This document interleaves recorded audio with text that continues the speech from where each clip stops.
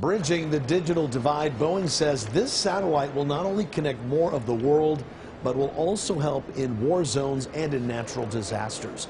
They're being called the most advanced communication satellites out there, and they're being built right here in the Southland.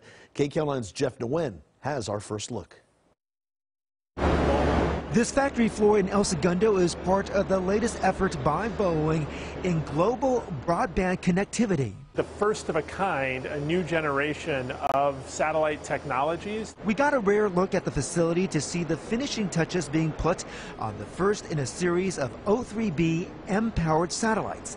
The aim, closing the digital divide. When you travel, you know, there's a, a good part of the world that doesn't have the kinds of access to telemedicine, to distance learning that you and I enjoy every day. To help connect the world, a constellation of 11 satellites will soon take orbit. This is a nearly completed satellite. Over here, you essentially have the semi truck that's going to deliver the payload into space.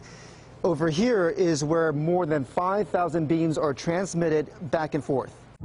The beams can be directed to war zones like Ukraine, where communication towers have been knocked out or in the aftermath of a natural disaster. Satellite service provider SES says mobile antennas like these were able to help restore communications following Hurricane Ian. We just have this surge capacity, this ability to just stand it up very quickly for folks that are in need, in this case, due to natural disaster. USC professor David Barnhart has no financial ties to Boeing. He says the satellite constellation will be in an equatorial orbit, which lowers the concern for what's known as space junk. I don't immediately translate the, the issue of these 11 satellites uh, as even close to the thousands of satellites that are being launched into low Earth orbit, which are traveling at very high rates of speed relative to each other. Normally, satellites, you design them to do one thing, and that's the thing they do for their entire life.